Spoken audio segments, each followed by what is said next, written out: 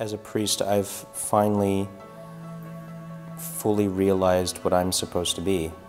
Uh, throughout formation, before formation, uh, before I entered the order, as I entered the order, there's always been a sense of, of uneasiness, of incompleteness, of difficulty, of, of hardship in many ways. Uh, being a Dominican is not easy, being a religious is not easy, uh, training to be a priest is not easy.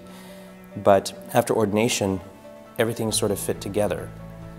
Uh, everything is everything is the way it's supposed to be, and I've never been at more at ease or more in communion, I think, with God than than um, than in my entire life.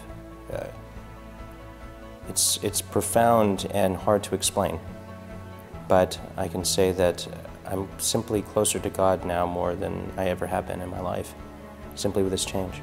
It's it's one of the most profound things uh, when you become a priest, immediately people are very solicitous of, of having confessions heard.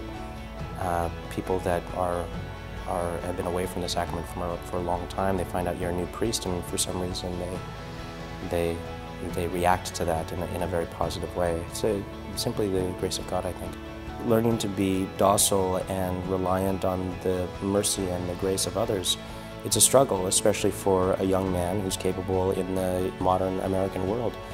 It's humbling, and that aspect of our life is very important to our growth in holiness, I think, and our life in community, and our benefactors and those who pray for us make all of that possible, make this possible. Uh, without it, we'd not be able to serve God and His church as well as I think we do or can.